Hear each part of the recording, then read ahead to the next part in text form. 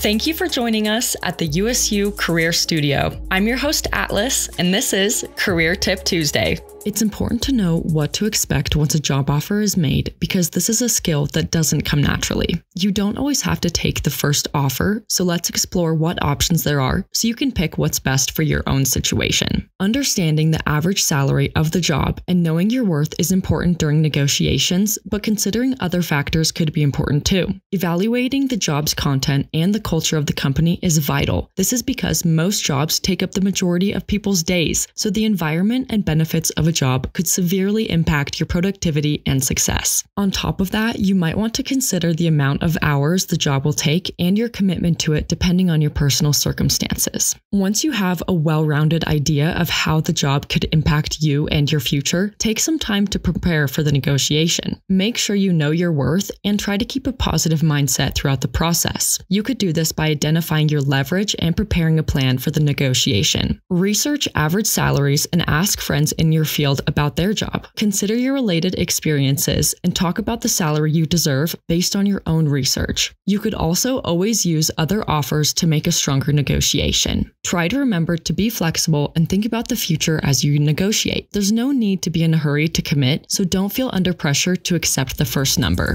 I'm one of your hosts, Atlas, and thank you for listening to this week's Tip Tuesday. If you enjoyed today's episode, then you might have fun taking our free Canvas course. Click the link in bio for more information, and we hope you can join us next Tuesday for a new career tip.